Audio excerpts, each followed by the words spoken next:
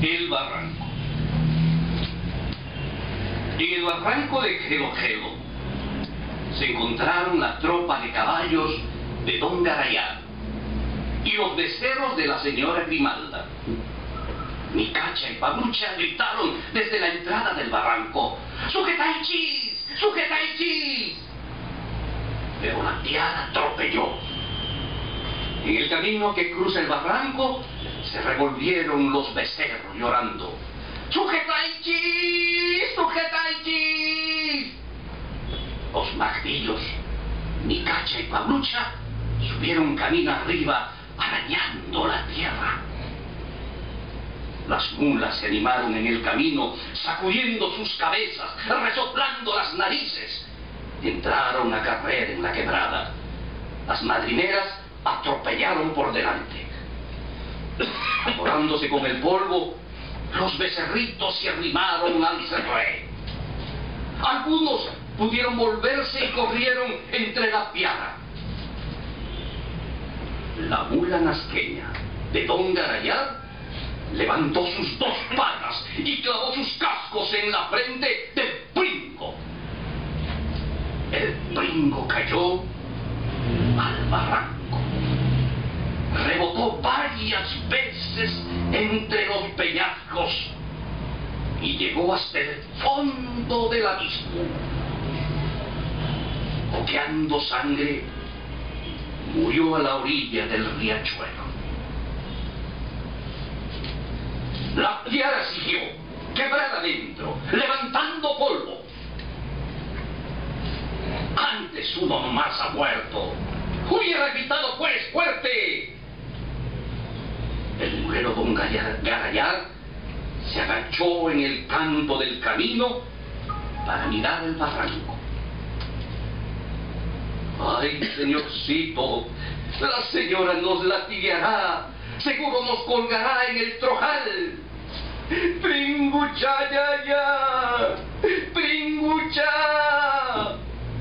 Mirando el barranco, los maquillos llamaron a gritos al becerrito muerto. La N, madre del Pringo, era la vaca más lechera de la señora Grimalda. Un balde lleno le ordenaba todos los días, la llamaba N, porque sobre el lomo negro tenía dibujada una letra N, en piel blanca. La N era alta, robusta. Ya había dado a la patrona varios novillos grandes y varias lecheras. La patrona la miraba todos los días contenta. ¡Es mi vaca! ¡Mi mamacha! Le hacía cariño, bañándole el cuello.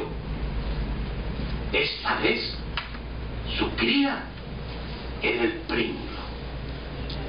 La vaquera lo bautizó con ese nombre desde el primer día.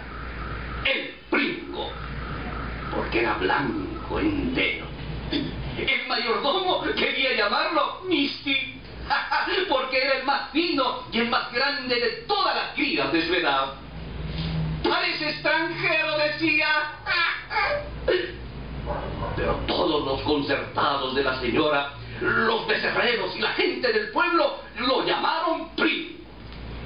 Es un nombre más cañoso, más de indios, por eso quedó.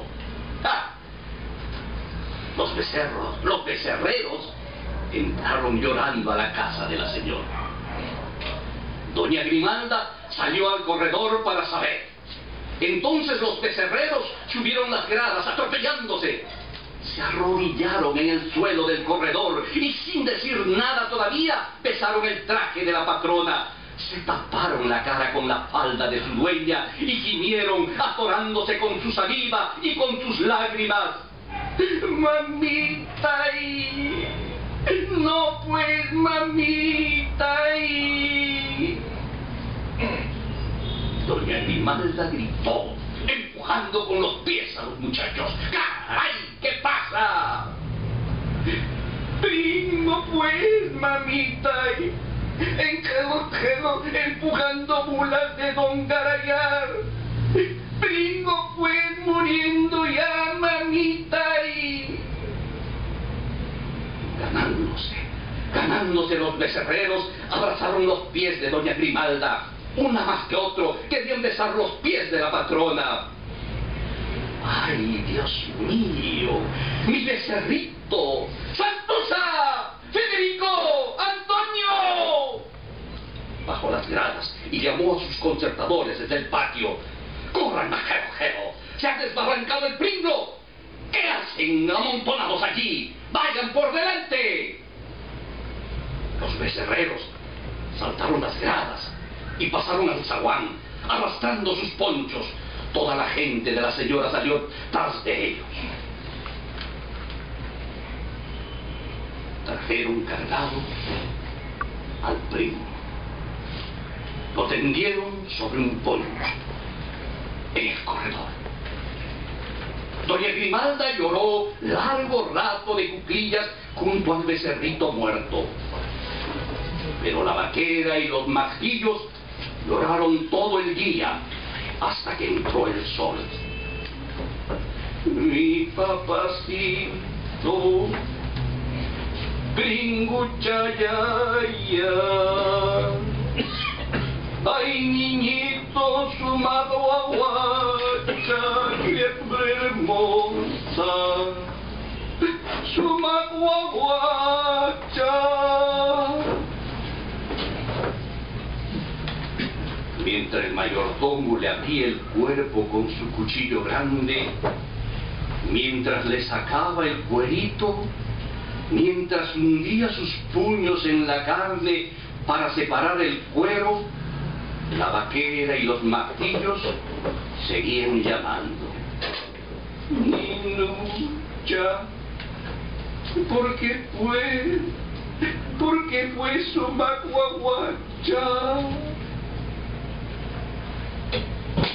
Al día siguiente, temprano, la N, la vaca, bajaría el cerro bramando en el camino. Guiando a las lecheras vendría como siempre. Llamaría primero desde el zaguán. A esa hora ya goteaba leche desde sus pezones hinchados. Pero el mayordomo le dio un consejo a la señora. Así he hecho yo también, mamita, en mi chacra de las punas, le dijo. Y la señora aceptó. Rayando la aurora, don Fermín clavó dos estacas en el patio de ordeñar. Y sobre las estacas, un palo de lámpara. Después, trajo al patio el cuero del primo lo tendió el palo y estirándolo y ajustando las puntas con clavos sobre la tierra. A la salida del sol, las vacas lecheras estaban ya en el callejón llamando a sus crías. La N paraba frente al zaguán y desde allí bramaba sin descanso, hasta que le abrían la puerta. Gritando todavía paseaba el patio y entraba al corral de ordeñar. Esa mañana, la N, la vaca madre, llegó apurada, rozando su hocico en el zaguán a su primo. El mismo don Fermín le abrió la puerta. La vaca pasó corriendo el patio. La señora se había levantado ya y estaba sentada en las gradas del corredor. La N entró al corral, estirando el cuello bramando despacito. Se acercó donde su primo. Empezó a lamerle como todas las mañanas. Grande de la mía, Su lengua áspera señalaba el cuero del becerrito. La vaquera le maniató bien. Ordeñándole un poquito, humedeció los pezones para empezar. La leche hacía ruido sobre el balde. ¡Mamaya! ¡Ya está, mamaya! Llamando a gritos pasó del corral al patio. El pablucha. La señora entró al corral y vio a su vaca. Estaba lamiendo el cuerito del primo, mirándolo tranquila, con sus ojos dulces. Así fue todas las mañanas, hasta que la vaquera y el mayordomo se cansaron de clavar y desclavar el cuero del pringo. Cuando la leche de la N empezó a secarse, tiraban nomás el cuerito sobre un montón de piedras que había en el corral al pie del muro. La vaca corría hasta el extremo del corral, buscando a su hijo, a su primo. Se paraba junto al cerco, mirando el cuero del becerrito Todas las mañanas lavaba su lengua el cuero del pringo y la vaquera la ordenaba hasta la última gota. Como todas las vacas. La N también, acabado el ordeño, empezaba a rumiar, después se echaba en el suelo junto al cuerito seco del pringo y seguía con los ojos medio cerrados. Mientras el sol alto despejaba las nubes, alumbraba fuerte y caldeaba la gran quebrada.